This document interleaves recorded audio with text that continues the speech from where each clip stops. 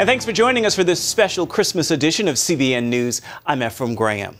The good news this Christmas is for many people, it isn't just a time for gifts under the tree or celebrating the new year. It's a very good time to get into the good book. Paul Strand tells us about the record numbers.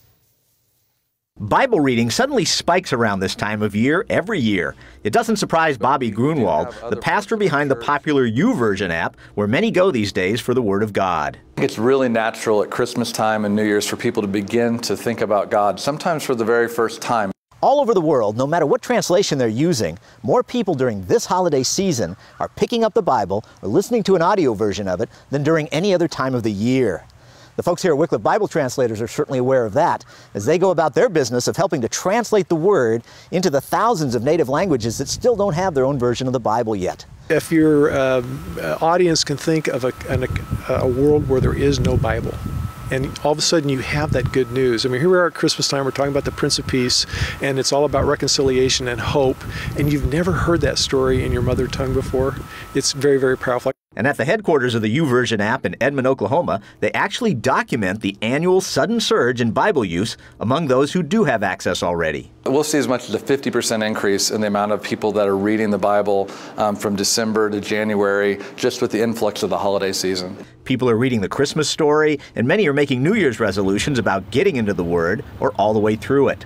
But sadly, it seems almost as many people break as make those resolutions. A lot of times when they get into to February, uh, middle of February, it begins, if they haven't really formed a really solid habit, it really does become begin to drop off. Gruenewald says, though, if you'll stick with the word, it'll pay not just good, but divine dividends. I believe that the Bible is a lamp unto our feet and a light unto our path. And so if we engage daily with God's word, it's a way for him to illuminate his direction in our lives. And who doesn't need that? Paul Strand, CBN News. And during the Christmas season, many Christians make a pilgrimage to Bethlehem, to the birthplace of Jesus Christ. Most visit the Church of the Nativity, the traditional site of Jesus' birth. But after 2,000 years, do people really know where Jesus was born? Our Chris Mitchell reports now from Bethlehem. It's one of the oldest churches in the world, the Church of the Nativity. This is the place where Jesus Christ was born. Professor Qustandi Shomali teaches history at Bethlehem University and is an expert on the Church of the Nativity. The Church of Nativity was built over this place in 326 when Emperor Constantine decided to declare Christianity as the official religion of the Roman Empire. Inside the church, the original columns from the 4th century still stand. We do know that the identification of the site of where Jesus was born already traditionally goes back to the middle of the first century uh, AD at least. In the first century, the Roman Emperor Hadrian destroyed the town of Bethlehem. After he destroyed the town, Hadrian built a temple and planted a grove of trees over the site where Christian pilgrims had come to honor the place where Jesus was born. In fact, this temple, instead of uh, uh, destroying the place, preserved the place. Jerome wrote in 396 AD Even amongst those who are strangers to the faith, it is known that inside that grotto, he who is adored and glorified by the Christians was born. This is the main entrance into the Church of the Nativity. It's called the Door of Humility because you have to bend down in order to get inside the church. It was originally built by the Crusaders and then altered by the Ottomans in order to keep mounted horsemen out of the church. 1,400 years after Queen Helena built the church, Christian pilgrims still come from around the world. The central place lays inside the grotto. Many believe it's the very cave where Jesus was born. A star marks the exact location. Many crowd down the narrow stairs to get inside the cave. Down below, pilgrims often touch the star and record the moment they got to see the birthplace of Jesus. For many, it's a profound emotional and spiritual experience. What did it mean to be at the birthplace of Jesus? Uh, something I cannot describe. I mean, everything makes sense and no words. I mean, it's difficult. I'm really surprised. Now, when I open my Bible, as I do each morning when I'm here and I'm reading, uh, it's well, now I can picture the places. It's just unbelievable. It's a live stream. Never expected to be here, but it's just awesome. Father Peter Vasko leads pilgrims to Bethlehem. he says it's especially meaningful during the Christmas season. I think it's an absolute wonderful occasion for pilgrims to come, especially so close to Christmas, uh, to be here to pray at, at the spot where Jesus was born and to bring that prayer back in their own lives. But another event recorded in the Bible took place after Jesus was born. Professor Shomali gave us a rare look underneath the Church of the Nativity. Yes. This is the place where we have the tomb of the innocent children Mm-hmm. Herod killed around 6,000 children from the whole area in order to kill Jesus Christ. We followed Professor Shomali down to some of the tombs below the church. Here are the tombs of the innocent children. These are the bones of some of the children that we believe were killed by Herod. Another significant event took place just outside Bethlehem. Pastor Steve Khoury showed us caves many believe were used by the shepherds on that holy night. According to history, shepherds would use these caves to store the sheep during the winter, uh, to store their food in the, in the caves, and also uh, places to live uh, with them. You know, the, the shepherds were very close to their sheep. Those shepherds became the first witnesses to the fulfillment of a prophecy given 700 years before, when Isaiah proclaimed, Therefore, the Lord Himself will give you a sign. The virgin will be with child and will give birth to a son, and will call him Emmanuel. Today, that Christmas message is still the same for pilgrims, professors, and pastors. Chris Mitchell, CBN News, Bethlehem. And we'll be right back with more of this Christmas program, including seeing biblical principles being played out on the big screen.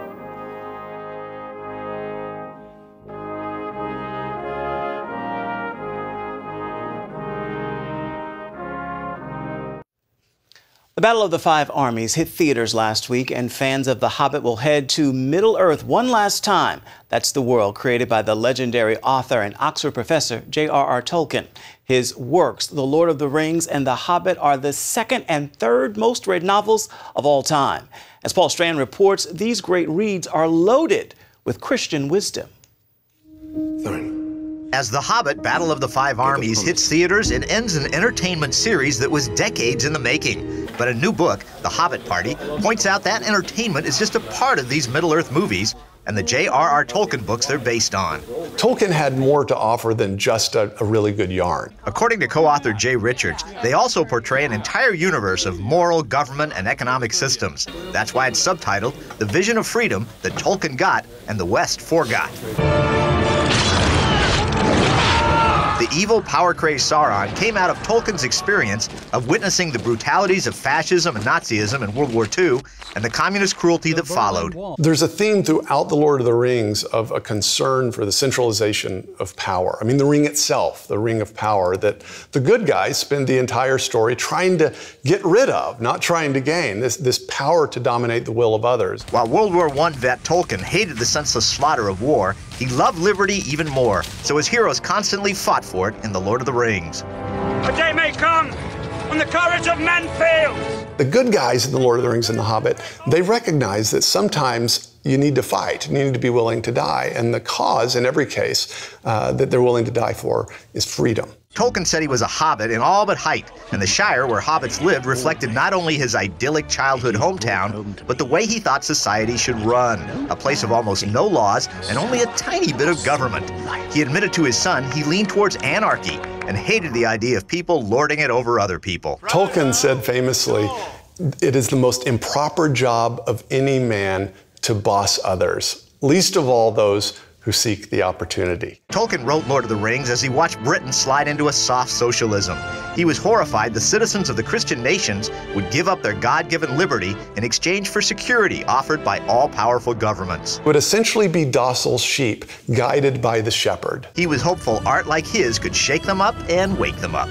As for economics, hippies dug The Hobbit and Lord of the Rings because they saw Tolkien as a cool anti capitalist, and that creating creatures like the aristocratic Smaug was his way to show it. But Richard says Tolkien used the character to illustrate the absolute worst traits of a wealthy, non investing, non capitalist. There you are, thief in the shadows. Who sits atop uh, literally a pile of gold that belongs to other people. This is not a critique of the capitalist or the entrepreneur. This is the critique of the miser who hoards his wealth rather than putting at risk. That, that's what enterprise is about. Tolkien portrayed prosperous worlds of robust capitalism and free trade at the end of both books. A widening trade, uh, not just between different you know, sort of human populations or different cities, but actually interspecies trade between hobbits and dwarves and elves and men. Gardener Sam personifies the world working at its best as he creates wealth with his hands and the future with his wife. Puts together both our economic activity as creatures made as stewards in the image of God to steward and to till and to keep the garden, and also to multiply, to have children. The deeply Christian Tolkien intentionally used humble hobbits as heroes, a way to show that even the least of us deeply matters and can change our world for the better. It only occurred to someone who had this vision that the creator of the universe could become incarnate as a man born of a woman in a stable in a humble village. It's only that kind of vision that I would think would, would lead someone to think to create heroes like hobbits. I can't carry it for you, but I can carry you.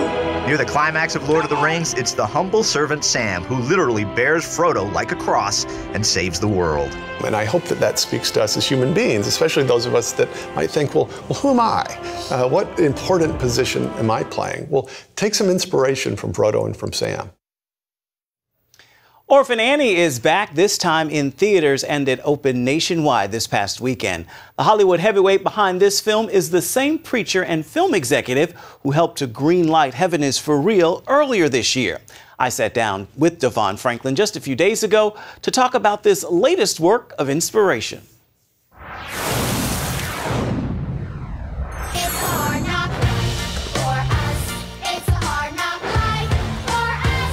America's favorite orphan, Annie, has been a cartoon, two films, and a Broadway show. And now it is in theaters again, starring Academy Award winning actor Jamie Foxx and young actress Quvenzhané Wallis, who was nominated for an Oscar for her performance in Beast of the Southern Wild back in 2012, the youngest nominee in history. Put your bag down. You're not going anywhere. Sandy's gotta go. Stop it. You and Sandy are staying here, and I don't care what happened last night. No, I mean Sandy's gotta go. No, I mean, oh, Sandy's gotta go. Okay, well, is it uh, is it champagne or gelato? What? Is it Mountain Dew or is it just plain old Dew? Is it lemonade or chicken nuggets? We should, I should go. Now I want to go because my bladder's full. Come on, let's go. Behind the scenes of this project are actor Will Smith, rapper Jay Z, and preacher and film executive DeVon Franklin. Annie, why do that film again? It's a process that's taken years, um, and it's a process that's kind of evolved organically. Um, but you know, God's timing is always perfect. Absolutely. So I think that it, this movie coming out right now, um, we couldn't have chosen a better time for this film to come to the world. Franklin is a Hollywood champion of inspirational entertainment and recently started his own production company to bring more of it to the small and big screen. So after seeing Annie, how do I leave the film feeling better? All that's going on in the world, you know, and I think that every time you turn on the news, there's always some new tragedy or some, you know, new tribulation or trial that uh, we have to endure. And I think a movie like Annie, you know, really is a celebration of family. It's a celebration of hope. It's a celebration of optimism. It's a celebration of faith. And I think that we need to, you know, especially during times that we perceive as really dark times, you know, we need hope. And I think movies like this, where you can take your whole family to it and enjoy it and sing and, and laugh and cry, I think this is is really important to kind of keep our spirits up and to keep our, our minds and, and hearts focused on, you know, even though we may be in a dark day at times, you know, the light is there. And up next, the story of a favorite Christmas song that doesn't even have its roots in the holiday. It is one of the most endearing Christmas carols, one that, believe it or not, isn't even a Christmas song. Here's the history and meaning behind O come, O come, Emmanuel.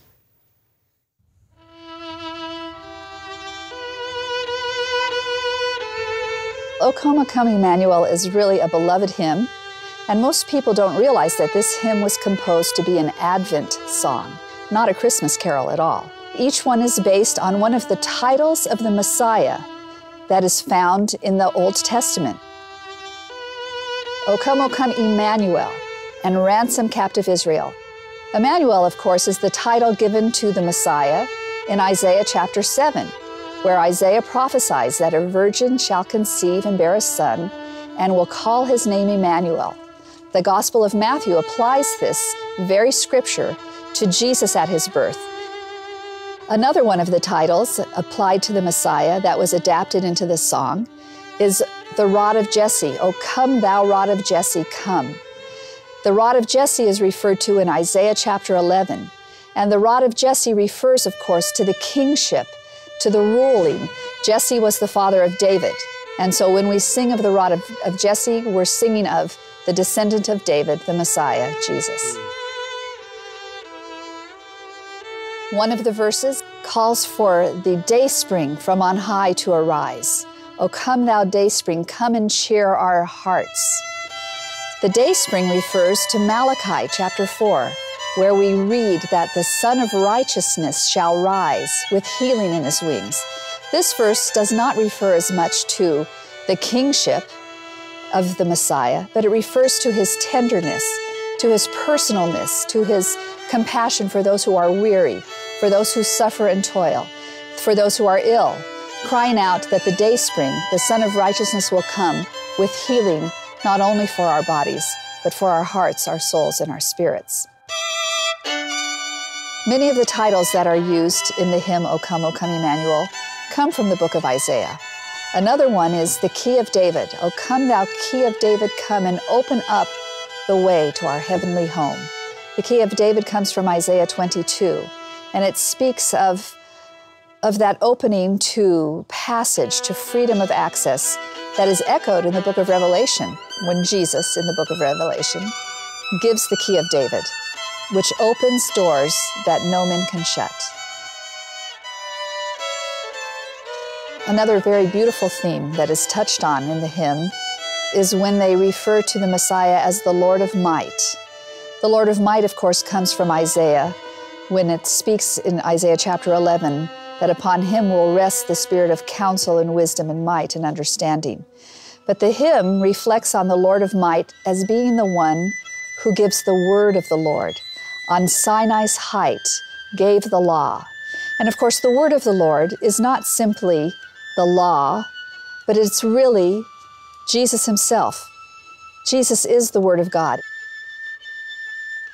The song O come, O come, Emmanuel, is evoking that longing and expectation that we have. We celebrate that Jesus has already come, but we know that something is not yet complete. So it's a very beautiful song because it, it has an echo of the past, but a tremendous anticipation of that glorious coming when the rod of Jesse, the key of David, the one who is almighty, God with us, will establish his kingdom on earth. I like to think of Emmanuel, God with me today, God perfectly present, God who brings his salvation at this moment, God who became Jesus, who showed his love for us in laying down his life, who calls me by name, who calls each of us by name, who loves us as a father, who loves us as a shepherd, who loves us as a king. Today he cries out for the salvation of each human being. Today is the day of salvation. We don't have to wait till tomorrow. We can celebrate Emmanuel, God with us today.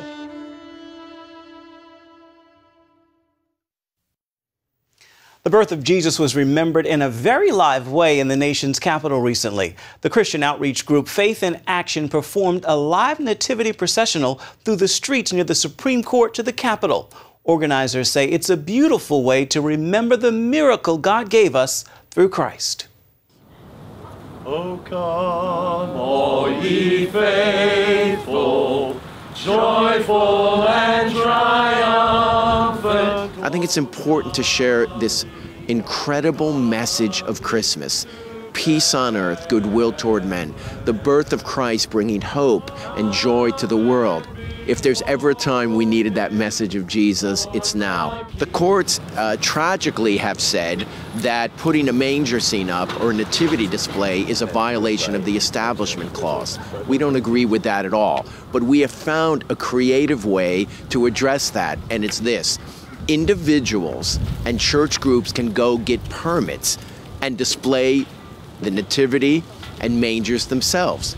If we can display the message of Christmas, the birth of Christ, the nativity displays in front of the most powerful court in America, then every person, every citizen has the right to display these nativity scenes across America. We enjoy a right in this country, an acknowledged and legally protected right to express this belief, to express this beautiful story in a public arena. It's just awesome that they can do this in the public and uh, just kind of get the message out there to those that maybe don't know the full message or, um, you know, maybe just never heard of it or have a different belief. The message of Christmas unifies people. It doesn't it doesn't divide people. So it's a wonderful way to share the gospel visually and to be brought back and to see and to remember God's extraordinary love for us. Glory to God in the highest, and on earth, peace, goodwill toward them. And that's all for now. From all of us here at CBN News, Merry Christmas, and may the miracle of Christ's birth bring you great joy this season.